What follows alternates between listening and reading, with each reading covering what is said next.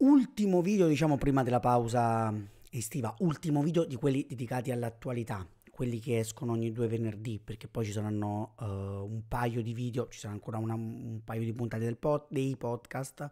uh, un paio di puntate di CinemaScope, uh, forse una, e due video dedicati al passato. Però, per quanto riguarda l'attualità, questo è l'ultimo video prima della pausa di giugno-luglio e quindi vi voglio accompagnare con me in una specie di vacanza allo stesso tempo mh, mm, rilassata e inquieta, perché vi voglio parlare di un film che ha bisogno di essere scoperto, riscoperto, che ha bisogno che io vi ci accompagni. E questo film è Pacifiction di Albert Serra. Innanzitutto benvenuti in questo mio nuovo video, benvenuti ai nuovi arrivati Iscrivetevi al canale se non l'avete già fatto e attivate la campanella così tutti i nuovi video, tutte le notifiche vi arrivano tranquille. Se invece siete già miei iscritti, provate ad abbonarvi al canale, è un'opportunità, soprattutto da settembre in poi ci saranno delle novità, dei modi per interagire sempre di più, per eh, partecipare alla creazione del canale, per partecipare anche voi proprio fisicamente in prima persona e non solo. Dicevamo, Pacifiction magari è un film di cui non avete sentito parlare, ma siccome è un film che io trovo bellissimo e che ha tantissime cose da dire, mi è sembrato il caso di farne appunto un, un video, una video recensione, chiamiamola così. Allora, mm, il film era, è uscito da poco nelle sale, era stato a Cannes l'anno scorso, nel 2022, dove era stato accolto piuttosto bene, ma non aveva vinto niente a memoria e racconta di un, um, una, diciamo un ambasciatore, un console, cioè una persona che uh, vive e, la, e, e, lavora e rappresenta lo Stato francese Haiti, a Tahiti, insomma negli arcipelaghi polinesiani per intenderci. E in questo posto che appunto sembra un enorme villaggio vacanze permanente in cui lui rappresenta gli interessi dello Stato francese ma al tempo stesso deve cercare di farli percepire, farli accettare dalla popolazione locale. Quindi è una figura di frontiera tra il potere, eh, il potere bianco, il potere occidentale, il potere colonialista, perché di fatto è un film che racconta il neocolonialismo e come la Francia, che è una delle poche potenze neocoloniali ancora rimaste, lo gestisce, e i locali e quindi anche la la capacità decisionale dei locali, la capacità culturale dei locali. Come appunto la Francia, mi pulisco gli occhiali nel frattempo, come la Francia cerchi in qualche modo di, come la Francia cerchi di preservare quel potere, come lui, come figura di eh, eh, confine, invece cerchi di mediare tra le due cose, le due esigenze. Eh, Albert Serra è un regista, questo mh, mm, è un film francese di produzione, ma lui è un regista eh, catalano, se non sbaglio, faccio sempre un po' di confusione tra catalani e baschi, però dal cognome mi sembra catalano, ehm, che è molto amato dai cinefili più radicali, perché fa un cinema piuttosto radicale. Questo è uno dei suoi film più, ehm, come dire, più comunicativi, più fruibili, e non è un caso che forse è diventato un film, eh, il suo film di maggior successo, non parola grossa, però di maggior richiamo forse ancora più accessibile in un certo senso, ed è un film che si lega a questo, è un altro film francese della sua carriera ed è eh, il titolo italiano dovrebbe essere La morte di Luigi XIV, se non sbaglio, con un grandioso... Um,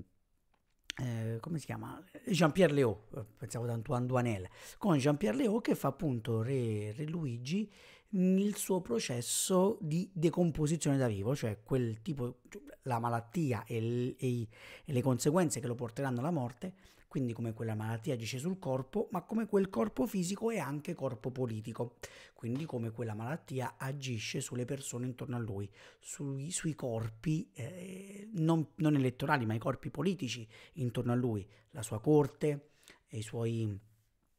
uh, i suoi detrattori e i suoi fanatici e via dicendo. Perché dico che si lega? Il, il ruolo di protagonista di un incredibile Benoît Magimel, che è un grande attore. E andatevi a vedere la sua filmografia, troverete tantissimi meravigliosi film. e eh, quest'anno tra l'altro lui è a Cannes con altri tre film oltre a questo, perché è un attore straordinario ed è un attore che ha fatto in modo un po' come certi, mi viene in mente Marlon Brando o Gerard Depardieu, ma senza il narcisismo del degrado, ha fatto in modo che il, il suo corpo, che era da giovane un corpo molto, molto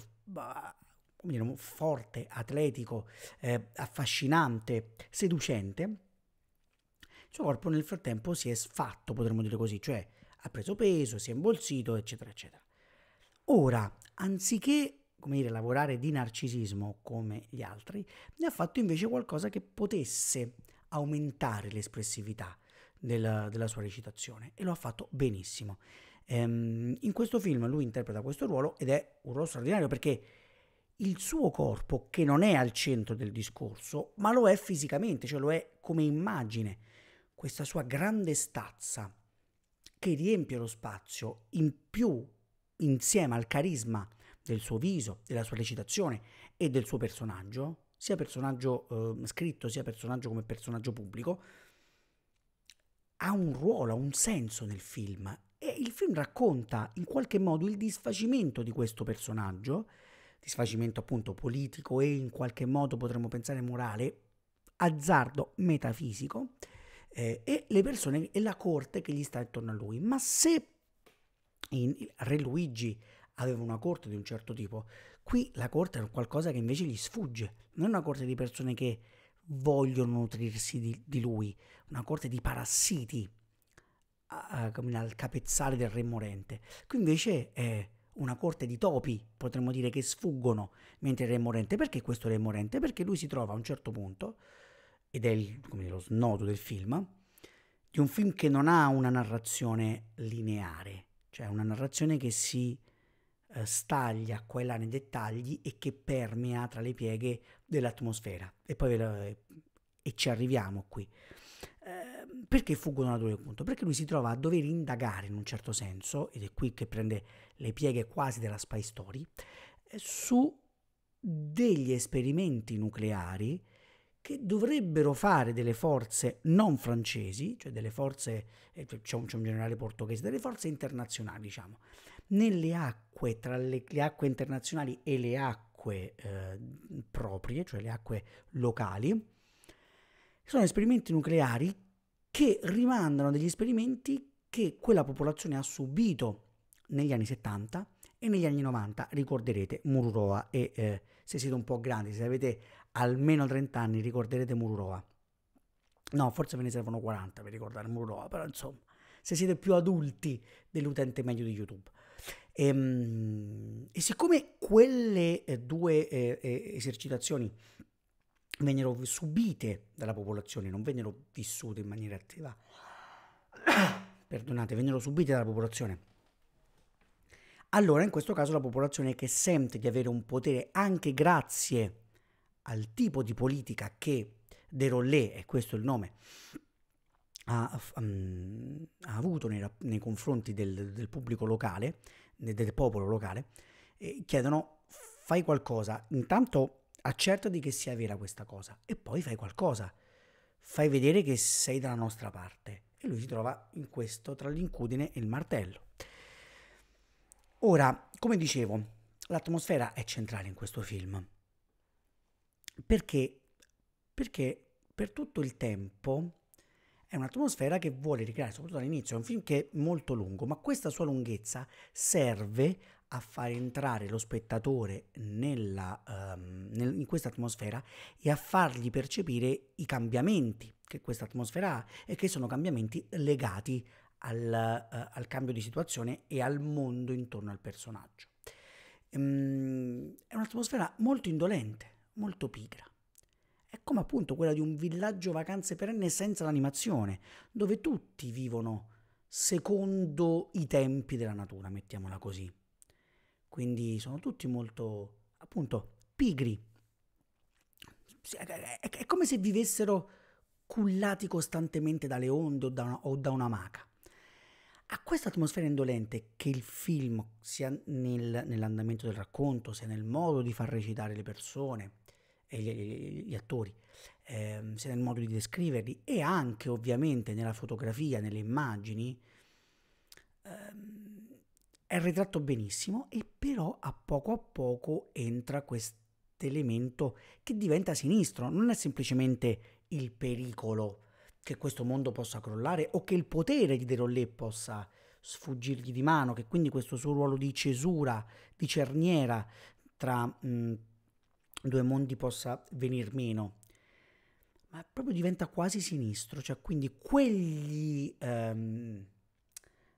peri- quel pericolo politico e quindi quel, quel mondo che rischia di crollare assume dei contorni dicevo prima metafisici, ma forse un po' linciani, mi verrebbe da dire, poi ci sono un paio di scene che riguardano proprio Lynch. E quindi c'è un'atmosfera sempre più sinistra dentro questo, questo viaggio ipnotico, che ha a che fare con i luoghi, che ha a che fare con, di nuovo, l'uso delle immagini, che ha a che fare con gli spazi e che quindi piano piano prende possesso questo, questi accenni di inquietudine prendono possesso del film, che non diventa mai un film inquietante. Quindi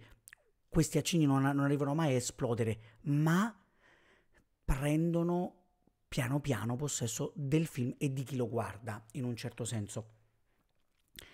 E dicevo, la, la, fotografia, che infatti è stata premiata col César, la fotografia di Alan Tort, se non ricordo male il nome, vado a controllarlo per non far figuracce, Arthur Tort, eh, credo, spero si pronunci così, è, è, una fotografia straordinaria, intanto proprio per qualità delle immagini e per lavoro sui colori, ma per come è andato a reinterpretare i colori naturali di quei luoghi e quindi di, delle isole della Polinesia e di quel tipo di ambientazione, di una fotografia di una, che inizia di una nitidezza incredibile, tanto per grana delle immagini quanto per uso dei colori, e che a poco a poco si opacizza, va a coprire la purezza dell'immagine e diventa sempre più appunto opaca, sempre più eh, torbida in qualche modo, per arrivare poi a concentrarsi su quel buco nero linciano che è uno dei centri del film, dei centri anche del potere, che è una discoteca, un nightclub, gestito da Sergio Lopez, in un, in un cameo, che è un attore anche lui eh, spagnolo, che però ha lavorato tantissimo, lavora tuttora tantissimo in Francia, è quasi un attore francese ormai, potremmo dire. E, mh, Logistici e quel luogo è un luogo in cui la politica, il piacere, quindi la vacanza e quindi anche però l'utilizzo del piacere a fini politici viene, viene sfruttato e appunto diventa un centro perché le trame eh, spionistiche si sposano invece con il senso di, ehm, di fascinazione per, per, l'altro, per il diverso, per la sessualità non conforme e anche poi, come dire, per le immagini non conformi, lì diventa un buco nero. È, mettiamola così, come se fosse una loggia nera, tra virgolette, in cui non è che vengono ribaltate no? le, le, le, leggi, le regole della fisica, le leggi della logica, eccetera, però dove rispetto alla, alla trasparenza del resto del, de, del luogo, lì si sente il pulsare di forze oscure, che sono forze politiche, ma non solo, sono anche forze in qualche modo spirituali, che le immagini rendono. C'è una lunghissima sequenza finale, bellissima, dentro questo nightclub dove si balla, dove i corpi si sfiorano, ma dove anche la politica si, come dire, si perde per dare il segno della vittoria del lato negativo della politica. Tutto questo viene portato allo spettatore attraverso le immagini, non attraverso il racconto o la dichiarazione o il dialogo. Sono elementi di riflessione che vengono portati allo spettatore e che lo spettatore non è che deve fare una, uno sforzo, eh, però godendo e vivendo quel tipo di cullare che le immagini danno, che il ritmo dà, che i suoni danno, che le musiche danno, riesce a percepire. Quindi un altro modo straordinario che la regia e la fotografia hanno di dare l'evoluzione in senso sinistro, in senso inquietante di questa storia, è il modo in cui Derollé è ripreso. Questo suo corpo, questa sua figura, che è una figura uh, estremamente uh, carismatica, una figura che raccoglie su di sé il peso del mondo, ma che sembra saperlo gestire da Salomone, in un certo senso, piano piano anche lei sfugge, anche lei diventa opaca. Questo corpo, questa figura intera, spessissimo ripreso a figure intere, sono rarissimi, adesso non li ho contati, ma sono rarissimi i primi piani, sono quasi tutte figure intere e campi lunghi, o il corpo nella sua interezza o il corpo perso nell'ambiente, nello spazio, vengono inquadrate sì verso il finale in inquadrature sempre più ravvicinate, ma spesso gli viene fatta ombra, viene coperto da un muro, da una struttura, dalle piante. Il ruolo di Derollé diventa sempre più oscuro e noi lo vediamo sempre meno. Questo è un lavoro intellettuale che però comunica subito, immediatamente allo spettatore. Non è intellettuale nel senso deteriore, intellettuale nel senso, secondo me, migliore del, del, del termine. È un film bellissimo, un film che chiede l'attenzione dello spettatore, la partecipazione intellettuale dello spettatore, ma allo stesso tempo permette ai, ai sensi di quello spettatore di rilassarsi, di calmarsi, di godere. Appunto, Lynch ti mette costantemente in ansia, o perché non capisci, o perché cerchi di capire, o perché quello che vedi è perturbante. Qui invece mentre i tuoi sensi sono, gli è richiesto, è richiesto ai tuoi sensi di galleggiare su questo mare, c'è una meravigliosa sequenza di mareggiata che comunica proprio questo, cioè attraverso la natura esprimere pensiero, esprimere cultura. E c'è anche a proposito di cultura, come dire, il senso forte del neocolonialismo francese, quando Derollé spiega ai locali cosa significa la danza locale che stanno ballando che è un po' la presunzione paternalista dell'Occidente, ma anche come le popolazioni locali, la cultura locale sia stata uccisa, si sia persa a causa dell'influsso e dell'influenza neocolonialista. E dicevo, quindi mentre i sensi devono calmarsi, devono cullarsi, devono lasciarsi andare a queste immagini apparentemente perfette, apparentemente totalizzanti, alla testa si chiede di pensare. E quindi l'indolenza dell'atmosfera, il corpo e l'inquietudine, l'atmosfera sinistra, la mente, che agiscono uno contro l'altro. Ed è qui che nasce il clash, come dire, lo scontro bellissimo di questo film che spero troviate ancora nelle sale. Eh, non è uscito in moltissime sale, quindi nelle sale del capoluogo, nelle sale delle grandi città, spero lo troviate, nelle altre vedete se si trova nel, sulle piattaforme ancora no, però magari DVD estero, questo è molto probabile. E, ehm, quindi spero di avervi convinto, come sempre. Vado a controllare se mi sono dimenticato qualcosa tra gli appunti, mi sembra di no. E, quindi Ehm, poi ovviamente se vi è piaciuto questo video pollice, non questo pollice con pollice mon- monco ancora, ma questo pollice, un bel pollice dritto, e, um, continuate ad iscrivervi, abbonatevi al canale oppure supportate il mio lavoro, Buy Me Coffee, per rendere il mio lavoro sostenibile, diciamo così. Noi ci vediamo con i video di critica sull'attualità, sul presente o di riflessione sul presente, ci vediamo a... Uh, ad agosto probabilmente o forse a settembre, vediamo, comunque agosto di solito qualche video lo pubblico. Durante l'estate il, canale non, non si ferma, solo che pubblicherò delle cose che ho già fatto, cioè i video che, che erano per abbonati verranno resi pubblici, uno a settimana,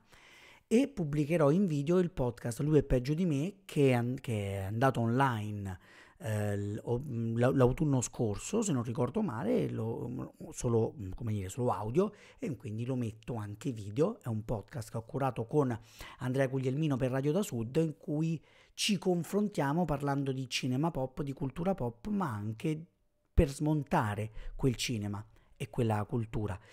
Ci vediamo però, i video, sono ancora un paio di video della domenica che, che vi proporrò, ovvero Alien e Aliens perché escono restaurati e la monografia Chiedi chi era Yasujiro Ozu. Uh, deve, vi aspettano poi anche i finali di stagione di Un podcast di troppo e Cinemascope. Quindi ai prossimi video. ai prossimi podcast, alle prossime live. Viva il cinema sempre e ciao a tutti.